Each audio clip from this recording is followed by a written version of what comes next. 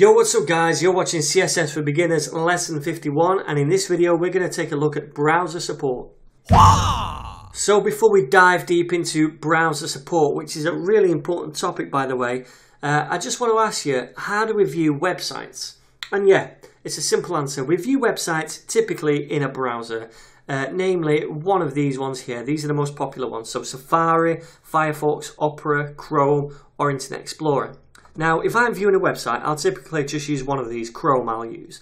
But if I'm making a website, if I'm coding one up, then before I put it live, I'll test it thoroughly in each one of these because different people use different browsers. So they'll be viewing my website in a different browser than me.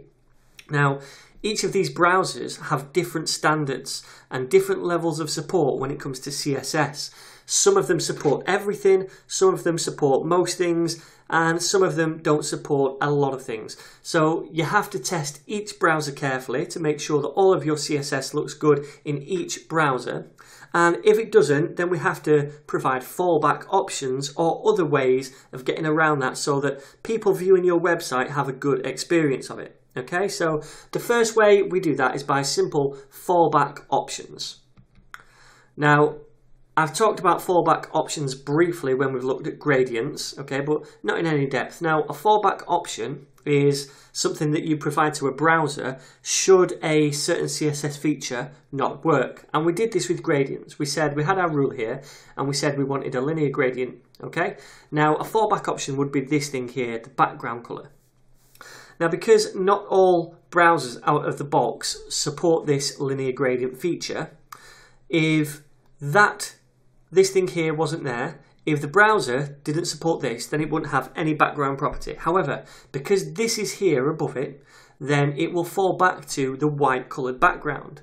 Okay, so the CSS is a cascade, remember, it comes from the top to bottom, so it comes down here, it finds this background property in this rule, and it colours it white. Then it comes down here and it finds another background property. Now, if it supports this linear gradient, then this background property will override this. If it doesn't support it, then it won't override this and this will remain. So that is the fallback option, okay? So that's one way of getting around browser inconsistencies. Now, that might not always work. So you want to check whether certain browsers can use certain effects or certain features sometimes. And to do that, I'm going to recommend caniuse.com.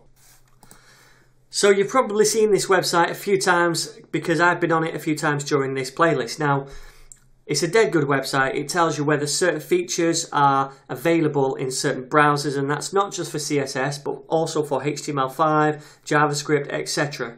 So it's really good. All you need to do is search for your property up here. We'll put gradient in, and then it comes up with all the browsers here and whether it can support it. Now, green means it can support it. Yellow, which isn't here, means it partially supports it, and red means it doesn't support it. So you can see that everything supports it pretty much except for these here and this. So Internet Explorer 8 and 9, they don't support it. And what's cool is it gives you the global browser usage. So if this is really low, then the fact that it's not supported may not matter to you. You know, if it's less than 1% is my general uh, kind of rule. If the global usage is less than 1%, then that's fine by me. Okay. However, if it's more than 1%, you may want to come up with some alternative. But this is a really cool website to find out whether browsers support those features. And it also gives you more notes down here if you want to read about it, uh, some sub features and resources to the uh, W3 specification and other links here. So it's a really cool website. This is my first stop if I come across a new CSS feature that I go to to check that I can use it in all the browsers. Okay. Uh, the next thing I want to show you is this pleeease.io forward slash play. And this is to give you a vendor prefixed code. So we saw before uh, that gradients in some browsers require a vendor prefix. And a vendor prefix is just a bit of experimental code used by certain browsers to allow those features to be used.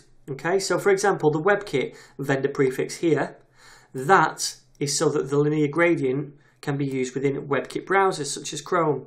Okay, because out of the box, it may not be supported. So we use this experimental syntax here um, so that it can be used within Chrome. And then after a while, Chrome may adopt it natively and we no longer uh, need to use this and it will pick up this. Okay, so what I've done here is I've just put this little A class here, I've given it a background of linear gradient, and then over here it's converted it into the code that I need for it to be supported in all browsers. Um, so it's added this WebKit vendor prefix in. So I just copy and paste this now and pop that back in my code. So that's a really cool website for generating vendor prefixed code. And the last thing I want to show you is a little bit more advanced. It's Modernizr, which is a JavaScript library. And it detects HTML5 and CSS3 features within the user browser. And say you have certain features within that browser that you want to use.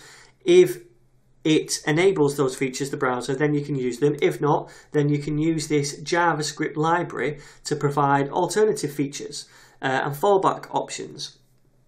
So that's quite cool. I'm not going to go into this into too much detail because it's beyond the scope of this course. But by all means, get out there and try this on your own because it is quite cool. So that's about it for this lesson. Um, if you have any questions whatsoever about browser support, feel free to comment down below. I'll answer all of those. Otherwise, um, if you enjoy these videos, please subscribe, like or share, and I'll see you guys in the next video.